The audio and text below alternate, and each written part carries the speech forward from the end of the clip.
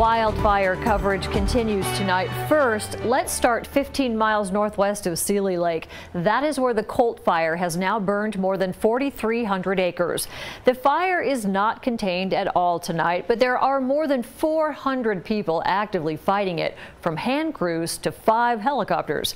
Today's report states firefighters on the ground are working to protect structures along Highway 83 and around the lakes to the south and east of the fire. There have been no changes or additions to the evacuation orders and warnings that are in place.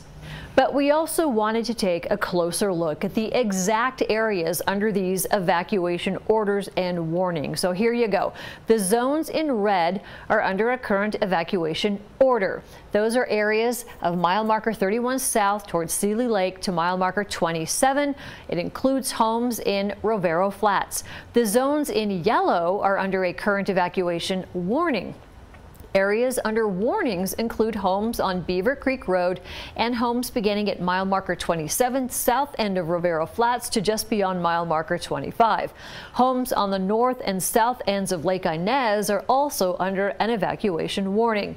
And finally, those areas in green, well, these zones have structures and homes but are not currently under any warnings or orders. For updated information, you can visit the Missoula County Sheriff's Office Facebook page. People are also strongly encouraged to sign up for emergency alerts at smart911.com.